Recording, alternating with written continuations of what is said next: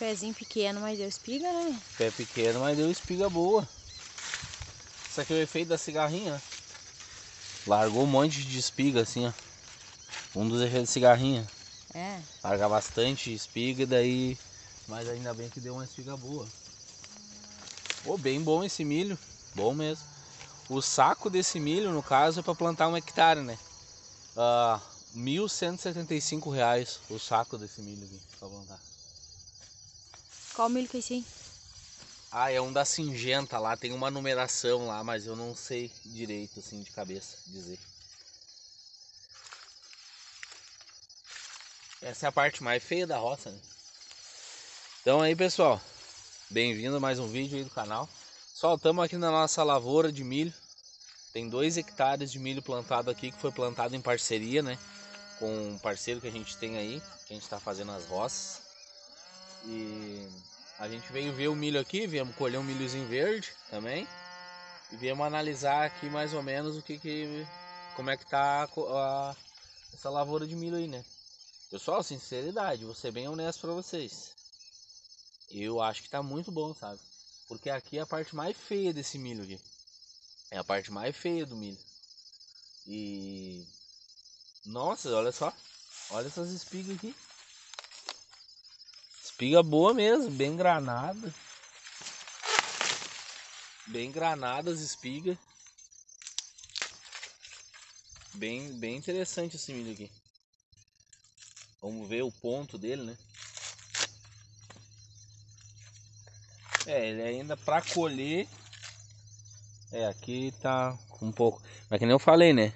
Aqui é uma parte fraca. Mas mesmo assim, a gente não esperava isso. Eu esperava isso aqui, ó. Eu esperava isso aqui em geral aí. Entendeu? Então tá bem bom. Tá bem bom mesmo. Ó. Ainda não tá. Falta bastante ainda. Mais uns 15 dias aí.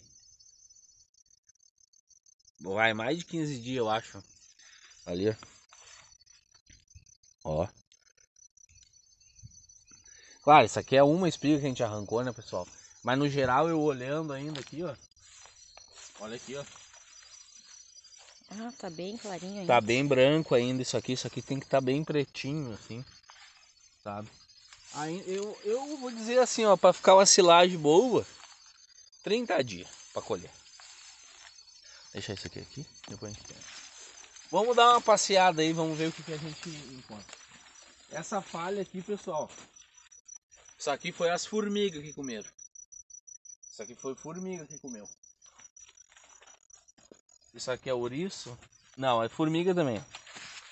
Aqui, ó, as formigas carregando. Olha, formiguinha. Olha, aqui tem uma dentro. Aqui é um carunchinho também. Nossa, tem tudo quanto é bicho. O milho é tão bom que os bichos tudo gostam. Olha aqui, pessoal, eu esperava essa roça tudo assim, ó. Entendeu? Essa é a parte mais feia dela. Parte ruim mesmo, esse beirado aqui assim. Mas tem uns espigão. Olha essa espiga aqui.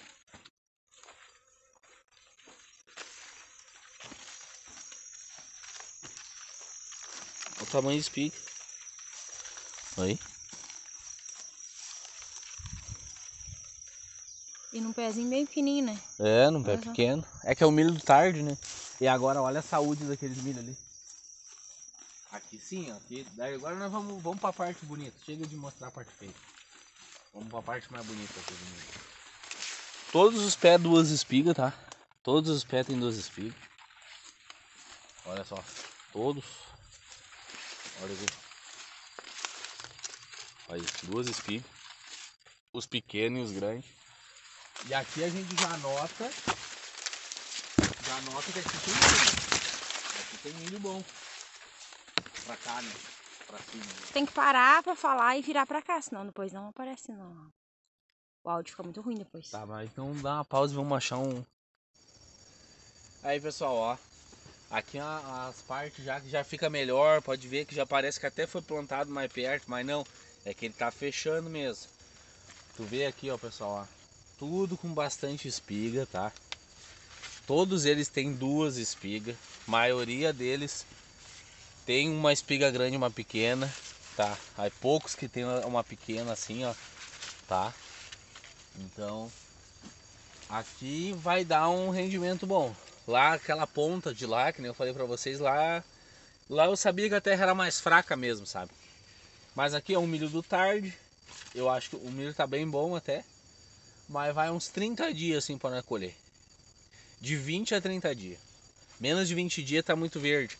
Pra lá tem uns dias de diferença, porque como eu fiz tudo manual, pessoal, isso aqui eu plantei tudo à mão. Tudo à mão. E virei de tratorito aqui. Uh, isso aqui então tem diferença de dias, né? Tem milho que foi plantado quatro dias antes, né? O primeiro milho lá. Então nós vamos indo mostrando para vocês aí. Mostrar para vocês dar uma caminhadinha aqui, onde tá mais bonito, mas igual vai dar um rendimento bom, pessoal. Eu acredito que aqui vai chegar aí, vai... Eu acredito que uns 600 sacos, se Deus quiser, vai dar.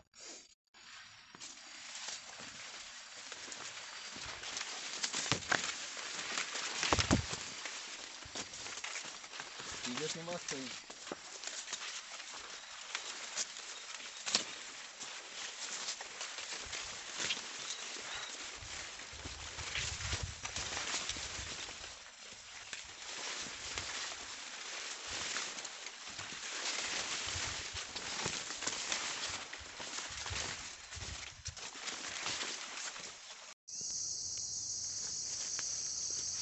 Aí pessoal. Deus quiser vai dar certo. Pessoal, essa lavourinha toda aqui, ó. E aquela dali que eu vou mostrar pra vocês, tudo vai ser capiaçu, tá? Isso aqui tudo vai virar capiaçu.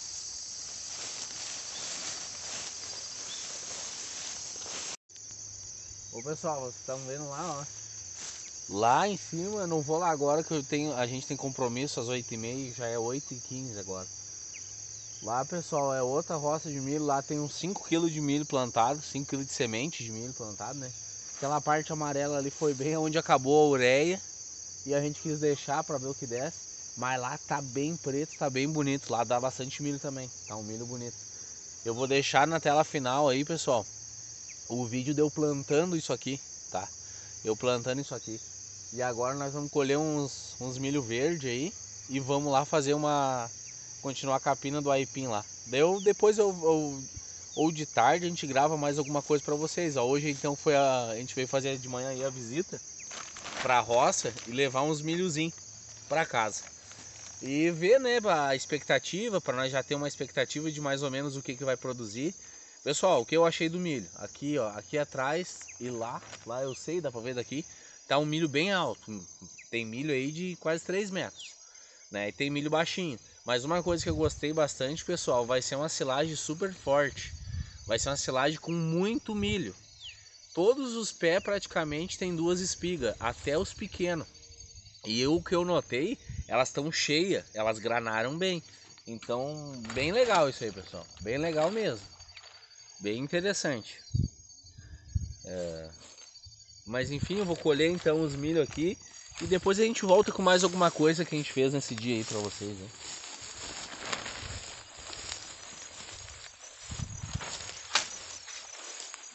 Aí pessoal, vou mostrar pra vocês o que que eu cuido. Eu cuido pra pegar pra comer, né, o milhozinho verde. Quando ele secou isso aqui, tá caindo nesse cabelo, né? Vamos ver como é que cai isso aqui. É, bem certinho, ó. Bem bom pra comer verde. Fazer curau, aí. Bem bonzinho.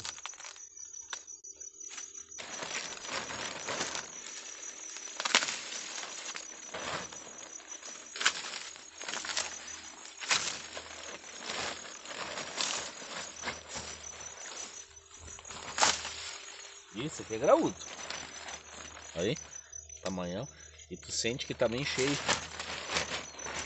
É bom ir pegando repicado, né, pessoal? Não dá pra pegar tudo num canto, daí fica um cantinho ali que fica sem milho. Né? Mas é pouca coisa, isso aqui não dá muito, diferença.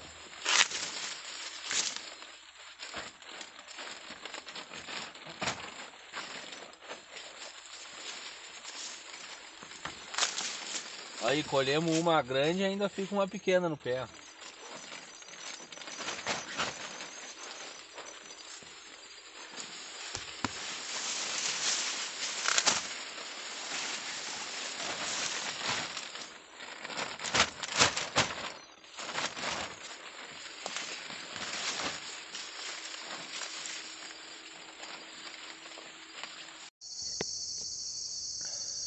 Pessoal, eu até ia parar de filmar o vídeo, mas eu vi um negócio aqui.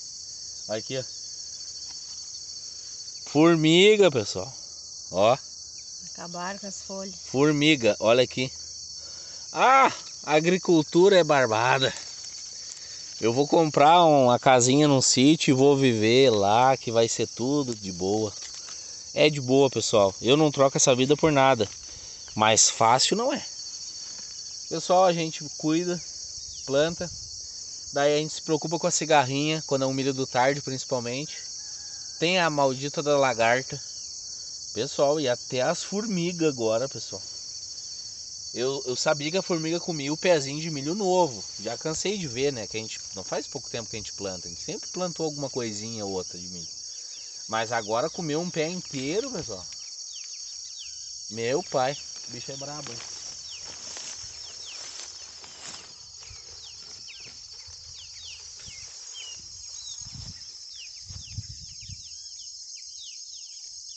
Olha, aqui vai dar um capim. Ô pessoal, tô na parte de cima da roça. Debaixo parecia que tava muito bonito aqui, tá? Cheguei aqui e me deparei com isso aqui, ó. Braquiária. Tem dois tipos de braquiária, né? Aqui a gente chama essa aqui de braquiarão. E aquela fininha lá, brisanta. Todas elas foram plantadas, tá? E daí, pessoal, mas resumindo. Eu paguei um rapaz para me ajudar a passar veneno aqui. Ele passou essa parte de baixo, de cima, e eu passei a parte de baixo, né? E vocês viram no início do vídeo lá que a parte de baixo estava na terra. E aqui em cima, pessoal. Pessoal, às vezes a gente acha, ah, tem bastante serviço, eu sou obrigado a investir em alguma pessoa para me ajudar, tudo bem, tá? Mas às vezes dá para demorar um pouquinho mais para fazer e fazer sozinho eu gastei a mão de obra dele e mais o custo de quatro bombas de veneno.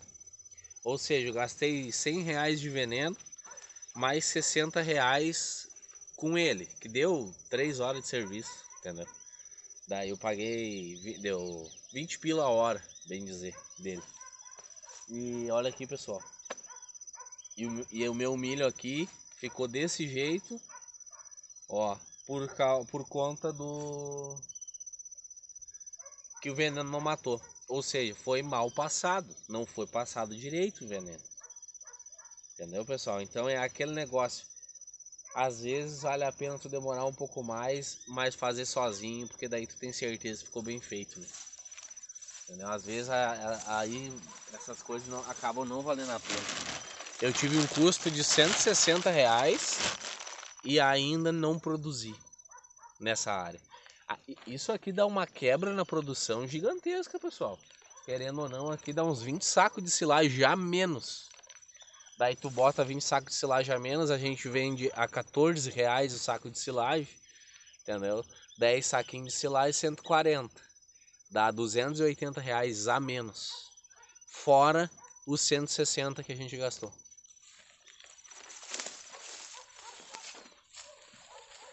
Nossa, parece que nem foi passado nada, Mas, né? Tá louco? Não sei se passou água pura. Tá Isso aqui, pessoal, que dá as quebras, né? Que nem eu falei, né? Ali embaixo. Que eu acreditava que ia dar 600 sacos. Pessoal, às vezes a gente olha, só que daí a gente, se a gente for botar essas falhas, essas coisas assim, pessoal, isso aqui dá uma diferença de 100 sacos. Porque aqui tem um pedaço ruim, Lá para baixo tem uns pedacinhos que a ureia não pegou bem. Lá atrás aquele beiço amarelo lá que eu mostrei para vocês também já faltou a ureia. Somando, no final dá 100, 150 sacos a menos.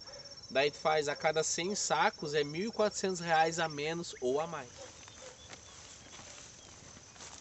Olha só isso aí. Aqui a silagem vai ser de braquiária.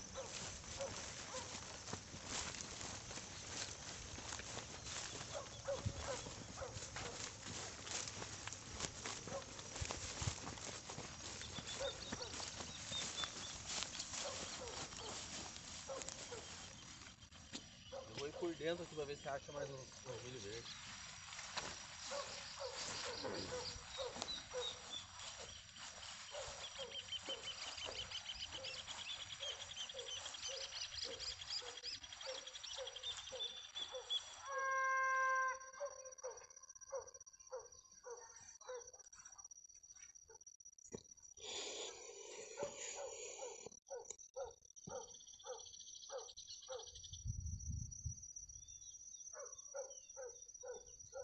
Formiga. Meu Deus, tem formiga. E aí pessoal, olha aí a diferença. Olha só a limpeza do chão. Aqui eu passei veneno. Passei com mais calma. Fui passando mais cuidadoso, assim. Ó Aqui, ó. Ó. Tudo morto. Entendeu? E aqui, ó, querendo ou não, o milho já veio. Aqui, essa é terra mais fraca. Eu vou dizer por quê. Olha só, isso aqui é uma areia braba. Olha aqui. É uma areia, ó. Esse pedaço aqui é um areião, entendeu? Mas mesmo assim produz. É que aqui, esse aqui é o milho do tarde, né? Esse milho foi plantado mais tarde. Não é que é o do tarde, não chega a ser o milho safrinha ainda. Mas ele não foi plantado na janela do, do, do primeiro milho, a época certa ali, tá? Por conta das excessos de chuva que a gente teve. Mas olha só a, a diferença do chão, ó. Já é outro milho, já tem mais espiga, tudo, sabe? Entendeu? Então é, é basicamente isso aí. Mas então, pessoal, vamos lá, vamos embora.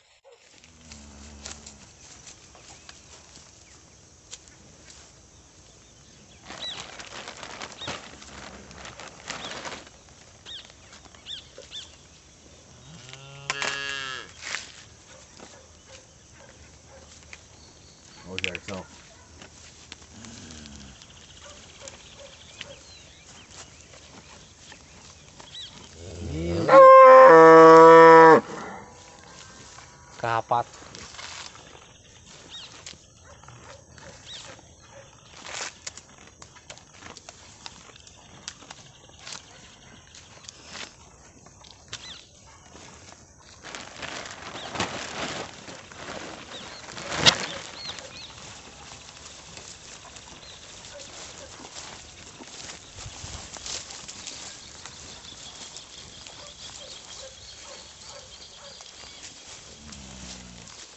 Tenta dar uma espiga pra ela.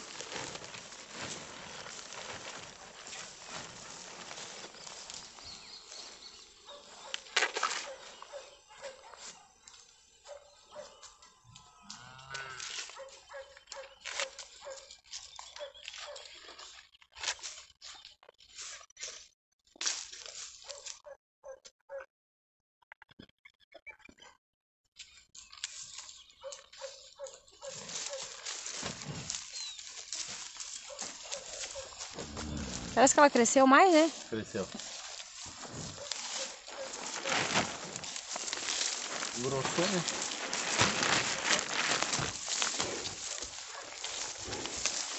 A barriga de frente. Essa é a nossa, ó, pessoal. Essa é a Amora. Essa aí nasceu lá em casa. Daqui uns dias, ela deve estar com 5 meses de barriga. Mas nós já vamos levar pra casa, a gente tem bastante silagem de capim. Vambora.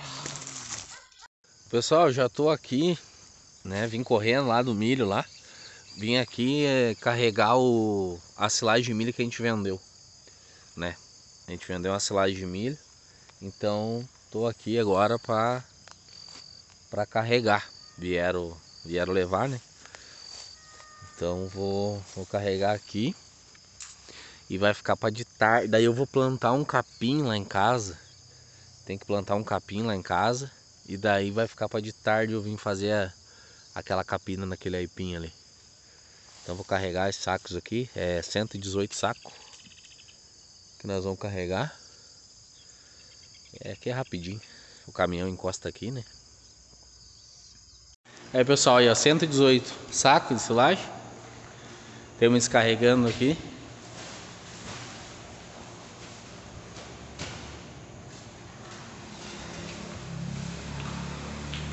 Serviço pronto. Aí, ó. Não é muito, mas é de coração, que nem diz o outro. Pequeno produtor. Vai produzindo. E aí, pessoal, eu cheguei em casa. Vim servir o almoço das mimosas. Né, eu dou dou uma silagem meio-dia também para elas, né? Meio-dia não, né? A gente falar. Eu encerro elas 11, 11 e meia, 11 e pouco da manhã. E temos aí, já descarreguei uma silagem lá. É, terneira aqui sempre entra no lugar errado. E estamos em casa, agora viemos procurar um almoço. Para de tarde nós ir lá pra roça lá e, e limpar aquele aipim lá, né? Limpar aquele aipim lá. É, pessoal, então temos aí, acabou nosso dia. Vimos lá o milho lá. Temos já nossos pensamentos convictos já de que nós vamos acabar com o milho lá, nós vamos estar tá plantando capim, né, pessoal? Já expliquei bastante vezes ali. Tem bastante comentário aí nos vídeos falando, né, pessoas, pessoas que tiveram experiência com capiaçu que não deu certo, a silagem dá, é muito trabalhosa, uh, outros falaram a silagem vai ficar muito úmida, mas assim, ó, pessoal, pra nós tá dando certo e é que nem eu vou falar pra vocês assim. Uh, isso é o meu ponto de vista, é uma experiência que eu fiz aqui e tá dando certo, tá, pessoal? É uma garantia de comida, tá? Que a gente tem e eu não volto atrás, assim, pela questão de volume, né, pessoal? Não é uma dieta completa, né, pessoal? Outros comentaram, ah, tem que corrigir muita coisa nele, entendeu? Uh, é, tem que corrigir muita coisa, mas na realidade eu tenho ele como um volumoso, tá pessoal? Como volumoso.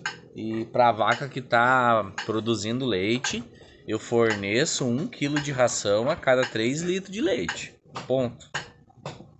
Entendeu? E claro, eu uso isso eu uso fubá de milho, né, pessoal? Eu, eu não acredito em silagem de capiaçu sem o milho. Não dá, já fiz também. Fermenta, mas dura muito pouco, sabe? Dura bem pouco, as vacas não, não comem, não comem direito. Já essa com milho moído aí, as vacas comem. Olha aqui, aí tá a prova. Aí. Confinada 100% silagem de BRS Capiaçu com 2,5%, 2,5%, 3% de milho moído, tá pessoal? Então, é isso aí. Uh, tô faceira, né, com aquela roça ali, né, pessoal? Ali vocês viram, também vendi ali os sacos de silagem, peguei um preço que eu acho que valeu a pena. Tiremos a despesa ali, sobrou um troquinho ainda. Não foi muita coisa, mas alguma coisa a gente conseguiu sobrar. Tem agora também aquela roça que vocês viram aí no início do vídeo. Tem dois hectares ali de milho, bem dizer. Então, vamos, vamos fazer um dinheirinho nele, né, pessoal? E vou estar tá plantando capiaçu ali, né? Vou estar tá plantando capiaçu e eu vou deixar para os outros produtores plantar milho e eu vou comprar o milho deles. E não vou comprar silagem de milho, né, pessoal? Eu vou comprar o milho mesmo. Vou comprar o milho mesmo. Já tô. Chega essa hora a gente fica cansado, né, pessoal? Nem vou cortar aí, porque quem trabalha aí na roça aí sabe que não tem, né? É 5 horas da manhã gente tira o leite. Daí agora já é 6 horas da tarde e ainda a gente tá aqui e ainda depois que eu desligar aqui, eu vou levar essa carreta de esterco lá para trás. Vou ver se eu boto no finalzinho ali nos créditos do vídeo. Vou levar essa carreta de esterco lá atrás. E tem mais um cantinho de capim que tinha faltado plantar, que eu fiz a terra ontem. Fiz a terrinha ontem, ficou no capricho. E, eu, e falta umas 300 mudinhas só. Vou lá e vou estar tá cortando essas mudas e já vou deixar plantado. Porque diz que marca chuva para amanhã, né, pessoal? Tomara que realmente chova, mas ultimamente está marcando e não está vindo. Mas então, pessoal, é mais ou menos isso aí nosso dia. Agora eu vou levar aquele esterco lá e vou estar tá plantando capim aí. Aí, pessoal, como é que tá a rebrota aí do capiaçu? Trouxe a carretada de esterco aí. A carreta bem cheia de esterco aí. Vou estar tá espalhando aí. Mas olha aí como é que tá o capim. Tá vindo bem, né, pessoal? Tá vindo bonito. Tá faltando uma chuva só, pessoal. Ah, já faz 23 dias que não chove. Tá complicado isso aí. Bem complicado. Mas eu vou vou plantar aqui, pessoal, ó. Eu fiz ontem com o tratorito, né? Enreguei aqui, lavrei com o tratorito, aí tá os regos, ó. Vou tá plantando aí. Aqui eu já plantei três ruas, agora falta uma, duas, três, quatro, cinco, seis, sete, oito, nove, dez, onze, doze, doze ruazinhas aí para finalizar. Então vou ali tirar as mudinhas rapidinho e vou me atracar no plantio.